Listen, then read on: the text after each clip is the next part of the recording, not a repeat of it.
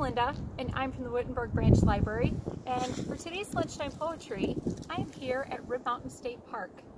And I am here in the fading twilight to bring a close to the year 2020. And hopefully what we, what we hope to see is hope for the year 2021. So my first one is called Life by Charlotte Bronte. Life, believe, is not a dream, so dark as sages say. Oft a little morning rain foretells a pleasant day. Sometimes there are clouds of gloom, but these are transient all. If the shower will make the roses bloom, oh why lament its fall? Rapidly, merrily, life's sunny hours flit by. Gratefully, cheerfully, enjoy them as they fly.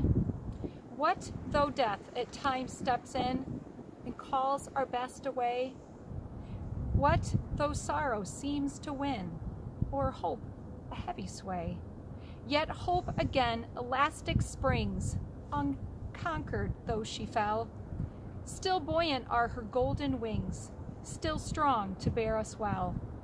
Manfully, fearlessly, the day of trial bear, for gloriously, victoriously, can courage quell despair? My next one is called The Year by Ella Wheeler Wilcox. What can be said in New Year's rhymes that's not been said a thousand times? The New Year's come, the old years go.